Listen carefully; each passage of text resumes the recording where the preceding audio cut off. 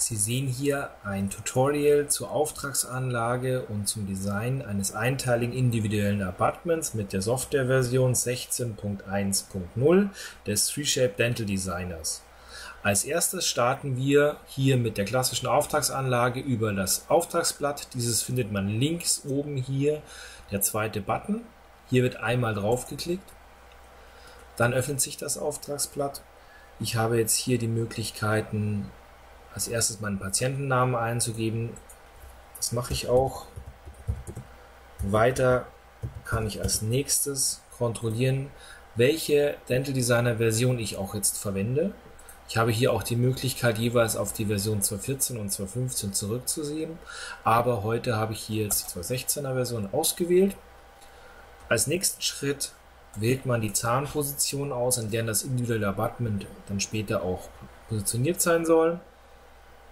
Dann geht man hier auf die Zugriffsleiste, wählt das Abutment aus.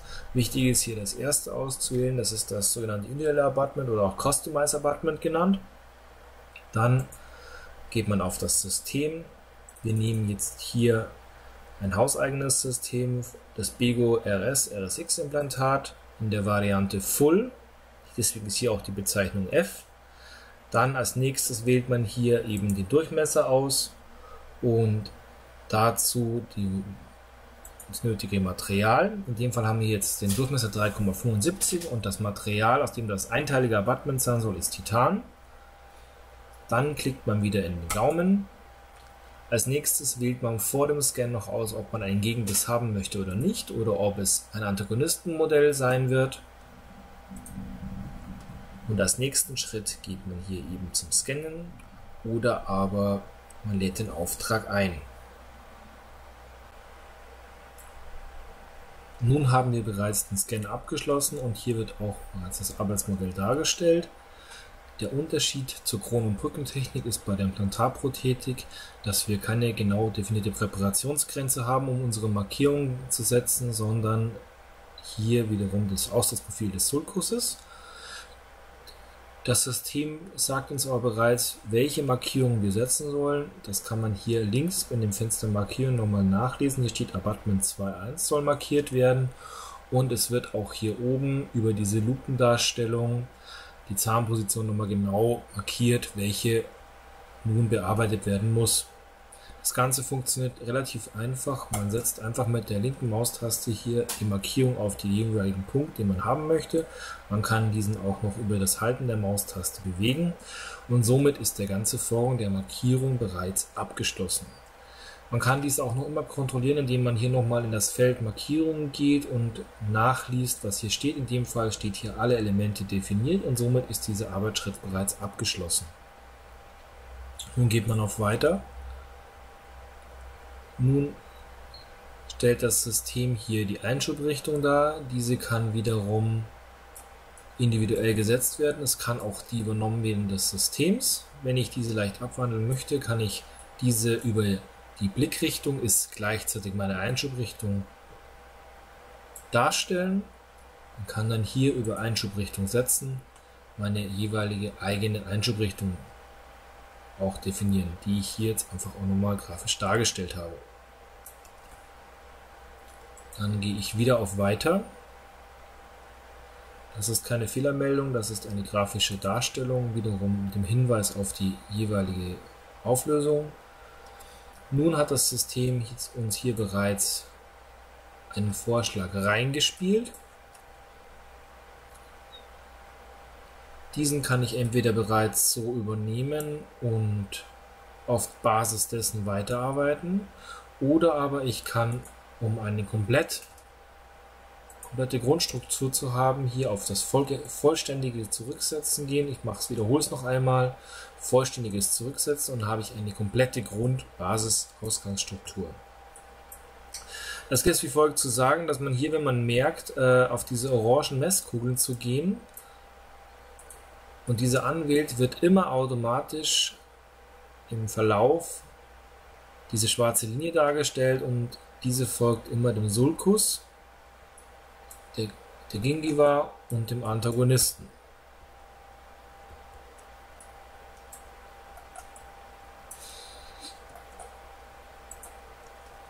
Es empfiehlt sich immer erst, wenn man hier das an der Draufsicht einfach mal genau betrachtet, immer diese vier großen orangen Messkugeln als erstes zu bearbeiten.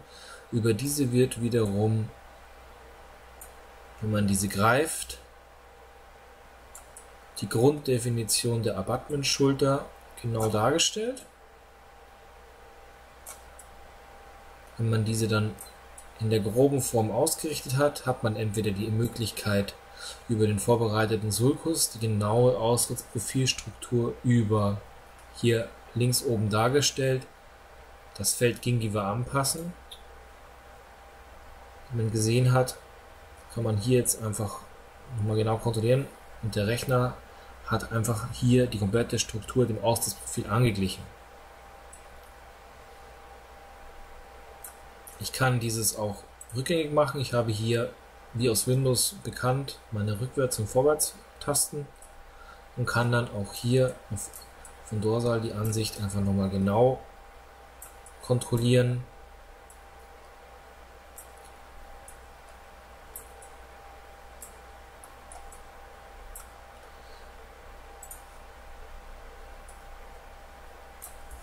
Nachdem ich diese Abutment-Schulter schon einmal reingerechnet habe lassen, habe ich hier noch die Möglichkeit zum anderen über die kleinen Messpunkte eine Feinjustierung vorzunehmen. Diese empfiehlt sich aber wirklich nur im letzten Arbeitsschritt der Festlegung der Position der Abutment-Schulter einfach auch durchzuführen. Wenn dieser Schritt passiert ist, gibt es folgende Möglichkeit. Ich habe hier oben diese blauen Messkugeln. Ich habe eine große und eine kleine. Die große, in der kann ich die Einschubrichtung verändern des Abutments. Über die kleine kann ich das Abutment in die Höhe ziehen. Und hier sieht man schon einmal schematisch nochmal den Einbiss des Antagonisten. Diese wiederum ziehe ich dann so weit runter wie meine spätere Rekonstruktion des Zahnersatzes das nötig macht.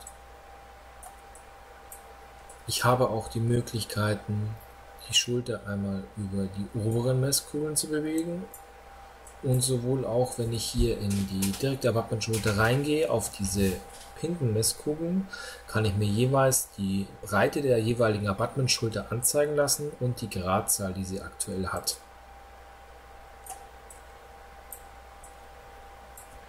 Weiter habe ich die Möglichkeit, wenn man das jetzt hier sieht, hier habe ich ein relativ konisches Abutment. Diesen Konuswinkel kann ich hier in den Feldeinstellungen selber einstellen und definieren. Ich kann von 0 bis 1, 2, 3, 3 Grad, wie Sie es hier eben auch sehen, oder auch 4 Grad, wie Sie das für sich im Praxisalltag für nötig halten, einfach mal umsetzen. Dann hat man die Möglichkeit, sich den Schraubenkanal bereits darstellen zu lassen. Das geht über die sogenannten Anzeigeoptionen. Nun hat man weiter die Möglichkeit, hier den Frontbereich mit der oberen orangen Messkugel noch einmal runterzuziehen, um sich bereits hier eine Abutmentform zu generieren, die nach vestibulär abgeschrägt ist. Das wäre die grundsätzliche Einstellung, die man vornehmen kann. Oder aber, was man auch immer machen kann, ist, diese Form erst einmal in dieser Art und Weise stehen zu lassen und das Ganze dann beim Modifizieren über einen sogenannten Ebenschnitt, den ich später zeigen werde, auch noch zu definieren.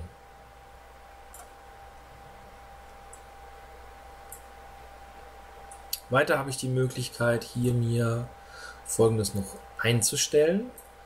Wenn man jetzt möchte, dass diese Hohlkehle in der Stufe etwas weicher gestaltet werden soll, kann man auf Erweitert gehen und hier den Schulterradius von 0,6 mm auf 0,8 mm einstellen. Das gleiche gilt für den oberen Schulterradius. Damit ist hier diese Abbruchkante gemeint. Wenn man diese auf 0,6 stellt, bekommt man auch eine deutlich weichere Abutmentform. Und wenn man diese ganzen Schritte alle durchgeführt hat, geht man hier auf das Feld Modifizieren. Dem System gefällt die Abutmentform, er hat sie über die Validierung zugelassen. Jetzt hat man hier nochmal die Möglichkeit über die sogenannten Freiformwerkzeuge, in dem Fall hier das allgemeine Morphing, das wir bereits aus der Kron- und Brückentechnik können, das Abutment auch nochmal zu verändern. Wichtig ist hier auch nochmal zu sagen oder zu erwähnen, dass diese gelben und grünen Pfeile, die nach Mesial und Distal diese Lateralbewegungen letztendlich ausführen, äh, mit Vorsicht zu genießen sind, weil man das hier jetzt mal sieht, wenn man den bewegt, produziert man hier im Schulterbereich einen Unterschnitt. Dieses sollte man tunlichst lassen. Wenn man mal drauf kommt, kann man hier links auch auf das auf das Zurückpfeil, äh, den man aus Windows auch kennt, ähm, nochmal klicken, um diesen Vorgang rückgängig zu machen. Das Einzige, was man machen kann, ist, man kann letztendlich hier die Höhe nochmal variieren. Mehr sollte man aber hier bitte nicht machen. Und darauf ist hier zu achten. Oder aber man hat ja im Vorfeld bei der parametrischen Formung schon seine Grundform dargestellt, dass man hier als finalen Schritt, weil wir ja vorher eben das Thema hatten, der Abutment-Form an sich, hier die sogenannte Dimensionierung der Inzisalkante etwas zurückzunehmen. Dazu benötigt man den Ebenenschnitt, den findet man auch unter den Freiformwerkzeugen. Den wählt man hier einfach aus, sodass er blau eingegraut ist. Der sinnigste Weg, den Ebenenschnitt nun durchzuführen, ist zum einen hier einmal über die linke Maustaste sich drei Markierungspunkte zu setzen. Nun wird der Ebenenschnitt angezeigt. Diesen kann man auch variieren. Und ähm, dementsprechend, solange dieser Kreis blau markiert ist, lässt sich der Ebenenschnitt auch durchführen. Wenn man irgendwann mal die Extreme überschreitet. Das bedeutet, wir haben hier den Schraubenkanal extrem geschwächt, beziehungsweise wir sind, wenn man das auch mal äh, rückgängig macht, hier in dem Bereich dessen, dass wir äh, der Ebenenschnitt die Abutment-Schulter berühren würde, würde ja automatisch rot eingegraut werden und ich gehe dann entweder auf zurück. Das heißt, ich habe hier links unten diese Windows-Taste benutzt, setze meinen Schnitt nochmal neu, wieder über die linke Maustaste und mehr muss ich gar nicht machen. Wenn ich dann letztendlich auf das Ausführen gehe, habe ich den Ebenenschnitt gesetzt. Ich kann hier das Einzige, was ich noch machen kann, ich könnte hier den Schärfegrad des Schnittes noch einstellen, das heißt, wie stark die Kante abgerundet wird. Ich möchte hier einen weichen Schnitt haben, somit nehme ich diesen Bereich und somit ist der Ebenenschnitt gesetzt worden. Wie man sieht, hat er sich auch den Ebenenschnitt gemerkt. Ich habe in diesem Schritt auch nochmal die Möglichkeit zu überarbeiten.